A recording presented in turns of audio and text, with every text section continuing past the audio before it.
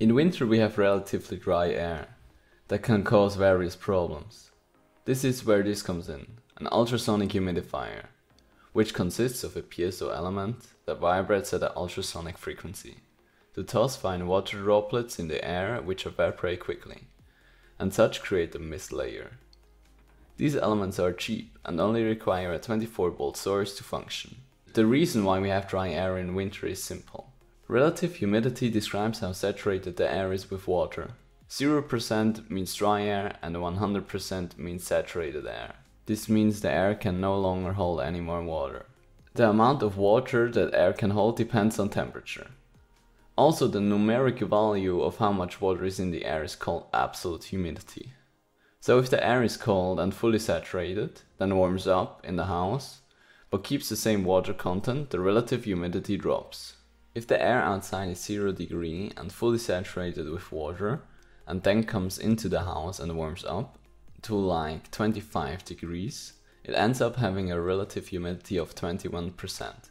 So it still has 80% capacity to suck up more water.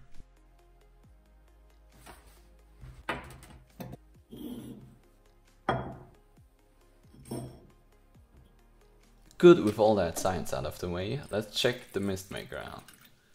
After covering the whole element in water and connecting power, it will start to create mist, but also quite a lot of water droplets that fly out of the container. The mist is cold and is heavier than room air.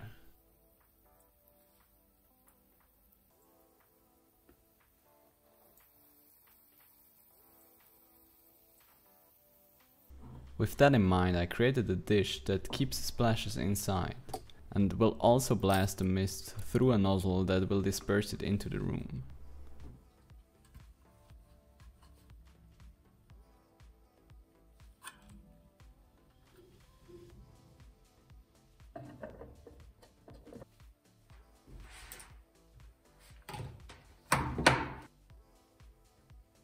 To waterproof the cable hole, I would use two component epoxy. I use hot glue in this case, which works just fine and is still removable in case I have to change something later.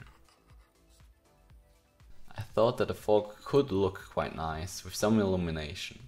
That's why I left a small pouch in the nozzle for a single LED that can be controlled via Arduino. The fully controllable LED chip is a bit overkill, but it's what I had around.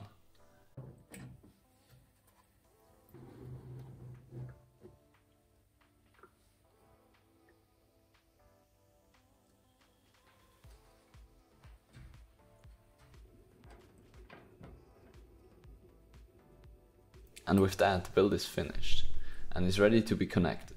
The LED is a bit too dim for my studio light, but looks quite nice in normal lighting.